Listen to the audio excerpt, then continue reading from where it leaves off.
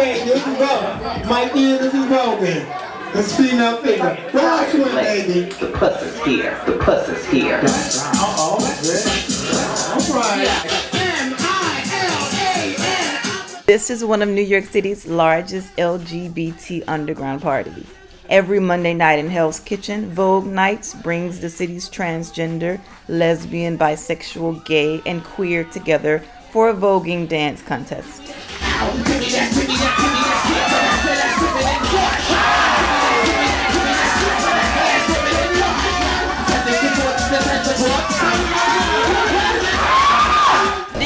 competition tonight? Uh, female figure performance, yeah. It's a, it's a category. It's a category in the ballroom scene that represents the women's, the, the LGBT community as far as the, like I said, the women's, the, the lesbians, the transsexuals, the drag queens, the, the cross-dressers, the transgender, the transsexuals. I found it to be very supportive as we all come together and just, and just support each other's, each other's passions.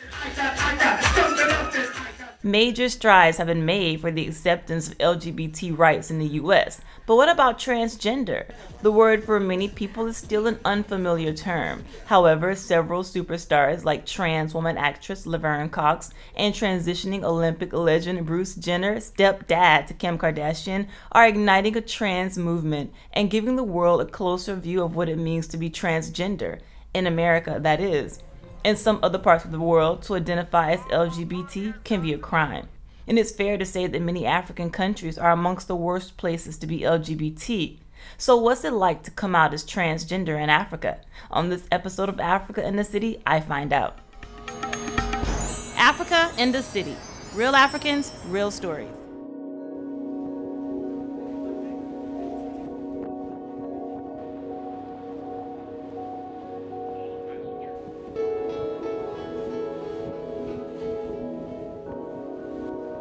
I'm from a country called um, Botswana in Africa. I identify as a trans woman, somebody transitioning from being male to female. I decided that I wanted to stay here because it's better uh, to stay here, uh, you know, as a trans person. You know, there's less discrimination here than back at home. I'm asking about the, the job that is, if you are currently accepting jobs for people who want to work as um, um, as a as a home health care uh, person. Christine Mavuma was born Christopher after having her story misconstrued twice in Botswana by local newspapers, she relocated to the U.S. and is now seeking asylum in order to stay. She hopes to tap into New York City's trans community and soon make her full transition from male to female. Right now, I'm not comfortable about what I see, and because it's not what I want to be. I don't think like a normal guy would think, it's just different. I think even the way I do things, you know, it's hard for people to tell I was born male because it doesn't show. But I thought it was just, you know, that I was gay. And uh, as time went on, I, you know, understood. I asked questions. I questioned myself as well. It was tough at first, but um, I learned how to deal with situations because where I was working, uh, I didn't have any problem with uh, management. It's just the people that I was working with that had a problem. But not most places are like that, especially if they find out you're trans.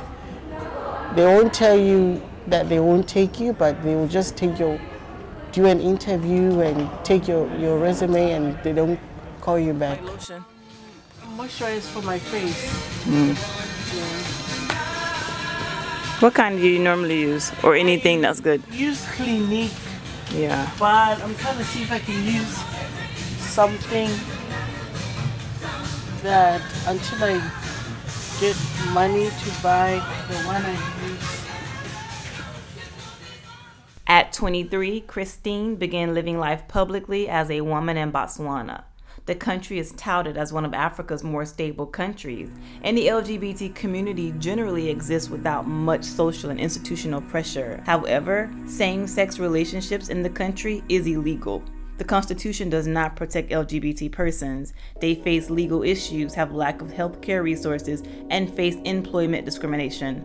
It's still difficult for them to really come out and, you know, tell the tell other people that this is how they identify as. Because some live with their families and um, some they are afraid what people are going to think, but only a small amount of people are already out. The term transgender is used when a person's gender identity does not match their assigned sex. Some reports suggest 1% of the world's population identifies as trans, with approximately 700,000 in America. But in Africa, a trans movement is growing. Tyler, em Rihanna, eh, faço misturas. Quando é desportivo urban chic, é Riri. Quando é meia beach, é Nicki Minaj. Angolan pop star Titica is arguably one of the first modern day musical artists to be internationally known as a trans woman in Africa. Já há muito tempo. Eu já me transformei com 18 anos. Fácil não. Tanto mais que eu já fui excluída de muitos sítios. E devagar a devagar eu vou entrar na mente deles. Que isso não é um bicho de sete cabeças e que eu vou fazer o bom do melhor. Além da minha situação pessoal, eu tenho o meu talento de fazer alegrar o público. Eu vou conseguir. Rapazes que são muito amigos dos seus filhos, conversam com os filhos e resolvem tudo na boa. É tudo a base de uma conversa. Mas, como o nosso país é um país conservador, então há de se respeitar. Sempre há regiões que não usa brinco. Há região que não arranja o cabelo, não pode explicar, não pode fazer nada.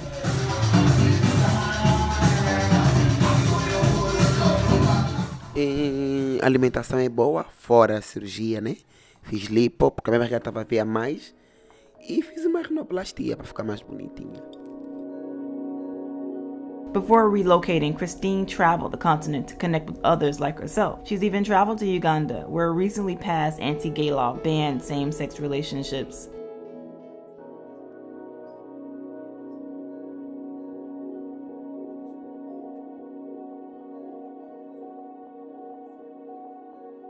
I'll, I'll say this actually even for Africa in general. First of all, they think transgender people are gay people or they are lesbians. Breaking away from that has been so difficult. To explain that being transgender is about gender identity and expression, and then being gay, lesbian, bisexual is about um, sexuality. Pepe is from Uganda. He's one of Africa's leading LGBT trans male activists. Just because um, I'm, I'm, I'm, I'm a gay person, I should not wear a nice suit.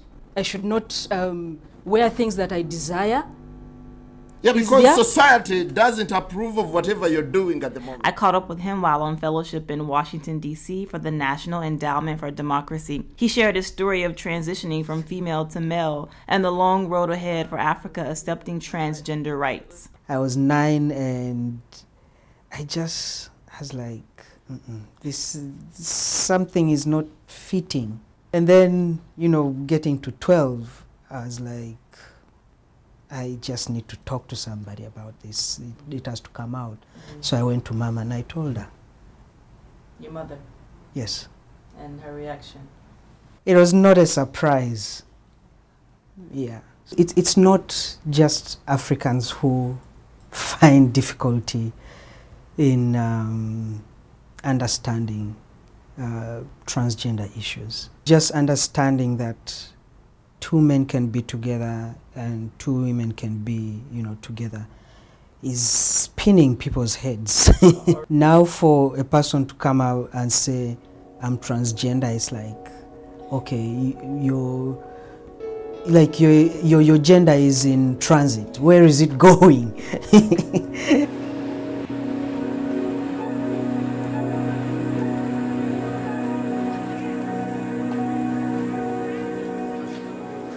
I had a boyfriend, but uh, it didn't work out well because he wasn't sure himself.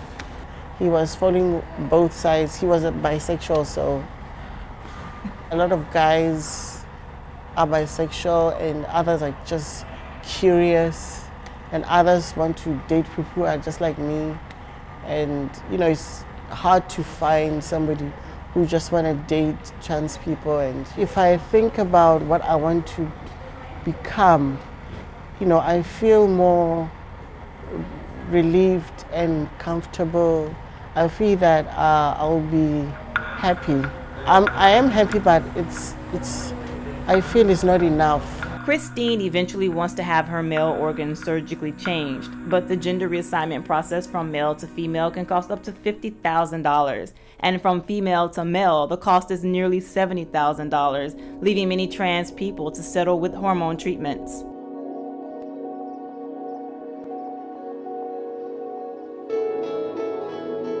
I was born male and I have transitioned into living my life as a woman hormonally and physically. Hormonally it's the rest of my life, but I really don't know if I want to get the full surgery. SRS, which is sexual reassignment surgery. So pretty much they take the penis and put it into vagina pretty much. Well, I had silicone um, injected into my face, into my cheeks, and then into my lower area, into my behind. I spent 1800 on my ass and I spent 300 on my cheeks. I want to get my nose done. I want it smaller. I want to get my jaw uh, shapen and shaved down. I want my chin done. And I also want to get my forehead done. I want to get more silicone in my body. Um, and I want my implants.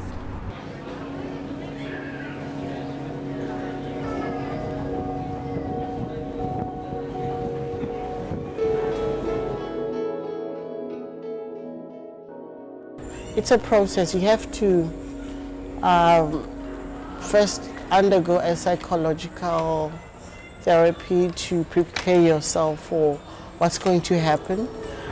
If you uh, have made a decision that you want to go all the way, so all the steps you have to understand what's going to happen.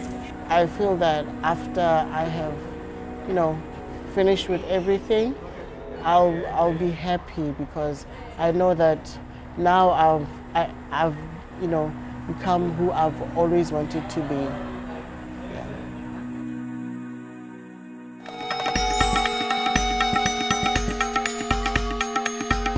Africa in the City.